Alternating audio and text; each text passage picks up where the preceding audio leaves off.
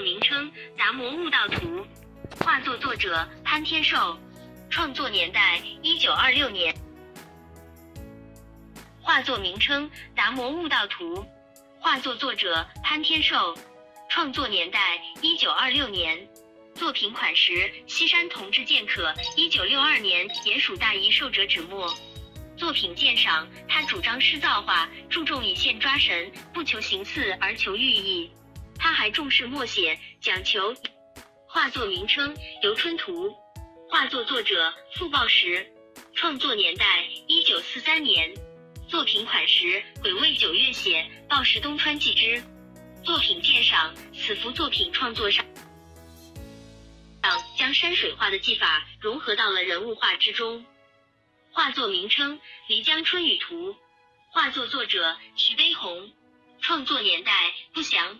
作品款识：漓江春雨念六年三月悲鸿。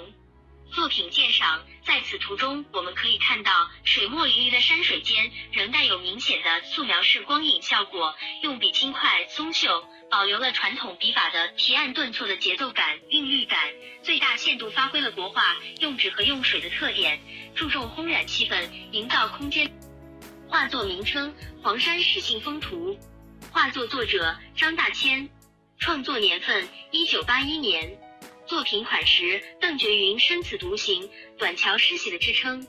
潘松缩手防龙诀，巨石昂头与虎争。香雾能攻天意多。画作名称《红梅寿石图》，画作作者吴昌硕，创作年代一九一零年。作品款识：华明晚霞轰，干老生铁柱碎。画作名称《荷花鸳鸯》，画作作者齐白石，创作年代一九二九年。